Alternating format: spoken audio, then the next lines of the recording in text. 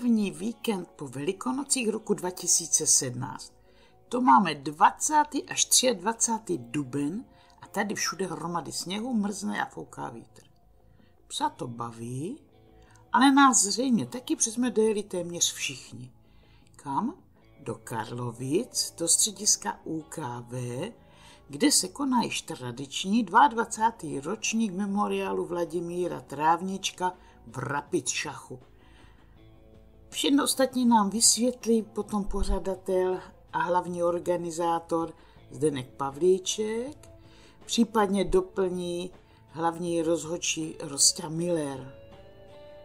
Že se sjeli z celé republiky, ze Slovenska od Košic po Bratislavu a taky z Polska, je prostě úžasné. Počasí nás neodradilo a tak jsme se záhy mohli setkat a bavit se, vzpomínat na dny minulé a připravovat se na náročný sobotní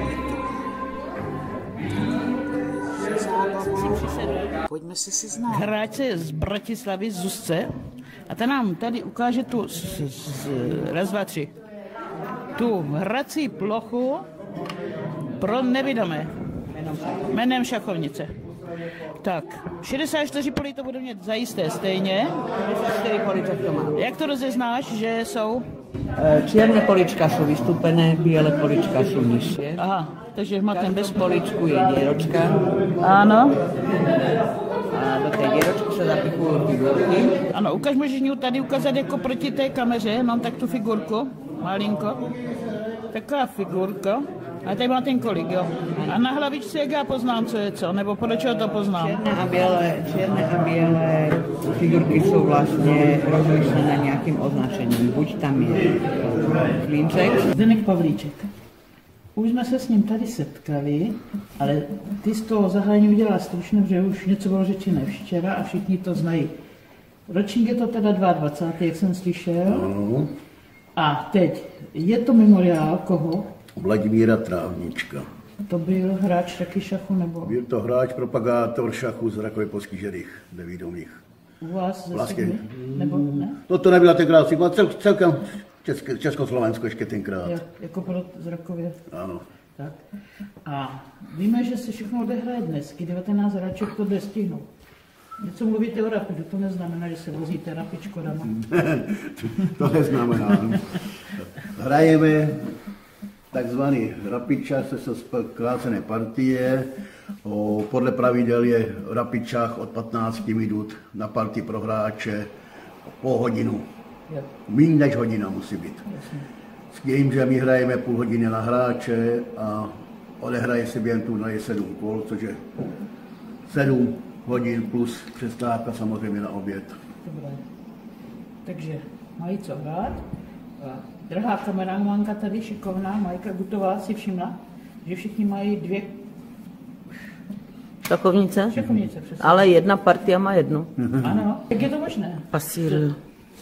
Tak je to turnaj z jaké postižení, to znamená převážně nevídomých a asi by to byl problém, kdyby, protože hrají pomocí, pomocí hmatů a čtyři ruky, ruky na jedné šachovnici by si spíš zavazeli, takže každý hraje na svoji šachovnici No, počkej, teď něco a napadá. tahy hlásí a soupeř si je udělá na svoji A co když ten na svůj udělá jiný tak? Aha, a jsme jinde. Což se samozřejmě může stát a musí se to nějakým způsobem vyřešit. Když se na to přijde, tak pokud to, no, musí se vrátit do pozice, kde se shodnou. Pokud jsou partie se zápisem, což eh, tak tam je to celkem jasné, tady u toho rapidu šachu se zápis nedělá nebo není povinný, takže pak je otázka, jak se hráči dohodnou, jak toho rozhodčí vyhodnotí. A z doslechu, přitom že se ještě dohrává, a však propočtu si zřejmě vítězka tohoto turnaje. Tak jak se ti hrálo? Tak jak se vyhrálo, tak já to nebudu komentovat, já teďka na šachy vůbec nemám čas, netrénuju, měla jsem, eh, byla jsem prostě mnohem silnější, i prostě ratingově vím, že jsem klesla, protože studuju školu a nemám čas trénovat, ale tady v téhle konkurenci prostě bohužel je to tak, že ten šach takový prostě někdy jde dolů, eh, protože když vyhraju turnaj v takové formě, v jaký jsem, tak to nesvědčí o tom, že já jsem dobrá šachistka, ale svědčí to o tom, že šach za takový postižených jde. Um, nevím, jak to říct slušně do háje. No to z nás teda moc nepotěšila, tohle informaci. Přesto ti posledně pogratulujeme, pokud se ukáže. Eh, Vítězka nám řekla, že úrovni ty turnaje jdou dolů, že nepřibývá mladých. Co ty na to jako rozhočí a chlap, který to sleduje? No je pravda, že mladí nepřibývají, jo. My jsme to hráli na škole, prostě jeden jdou z té základní školy a nikde už je pak člověk nevidí. Jo. Mladí vůbec nejsou vidět. A tvůj pocit, něco řekl při vyhlašování, nějaký zážitek, nebo rušili jsme my ve vedlejších místnostech. Jako podivu letos to, tomuhle směru to rušení jak diváků, tak ale i hráčů, kteří už přestali hrát a stali se vlastně diváky, tak nebyl jo, tady tenhle nějaký efekt, takže v tomhle směru byl ten turnaj takový klidný a pohodový. Dokonce jsme uposlechli i informaci, že máme povypnout mobily, to se taky splnilo. ano, Jo, jo, splnilo, protože ono řešit tady tu situaci, že nikomu zazvoní mobil, nebo teďka už podle aktualizovaných pravidel, když ho u někoho najdu, jo, tak je to problém, protože vlastně okamžitě práci prohrává. Prostě, To jsme řešit nemuseli. Jasně, to je super. Prostě zeptám se ti jedna věc, to je pro mě furt záhadná. Oni si každý staví ty figurky na své šachovnici, což se může stát omylem, samozřejmě, že to postaví trochu jinde. A ty máš přece jenom devět těch hracích ploch, stíháš to usledovat, nebo se musí o ní hlásit, nebo jak to funguje?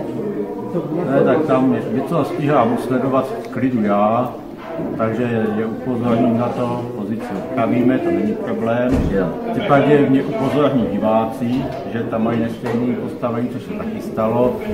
A s hráčema jsme to vyřešili úplně bez problémů, takže je to v pohodě. Ale přihlásili se i sami hráči, že jim to už pak nevycházelo, že pak vlastně museli stavět figurky proti pravidlům, jo, šachu, což nel- nelze. Takže tyhle, tuhle pozici jsme taky spravili, ale tady jsme se vrátili zpátky. Paní, paní kameramanka tady se nechá omývat. Ano. Pavlík spokojený se svým umístěním na turnaji. Moje asistentka je ráda, že mohla ode mě teď utéct. A ostatní cestující se baví a radostně míří k domovu. Šťastnou cestu vám. Domů směřuje jedna z účastnic, Zuzka Bajerová. A chci se jenom zeptat, jak se ti akce líbil, jak se ti dařilo na turnaji, co bys nám řekla na závěr, případně dokumentu, pokud se podaří.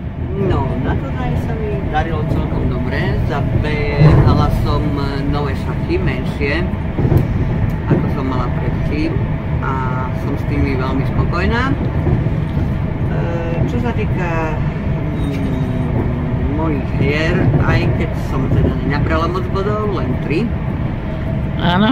tak e, som bola spokojná, lebo nerozdávala som figurky na počkanie. No a myslím, že Beline sa ľúbilo najviac. A, Vin- Belinka, vysvětlíme, to je ten malý pejsek, kterou jsme už viděli někde. a Vinkovi sa ľúbilo asi najviac, lebo Hop teda veľký kamarát. Taky dobré. Druhý veľký kamarát na ňu kašle, ale nevadí. Je mu to odpustené. Dobře. A vím, že jsi dobře užila i společensky, že tam byli přece jenom známí a přátelé, se potkáváte roky, že jo? No dlhé, dlhé roky sa stretávame s ľuďmi, ako je Zdenek Pavlíček, z mladších je to vlastne Katka, Roman, Jasné.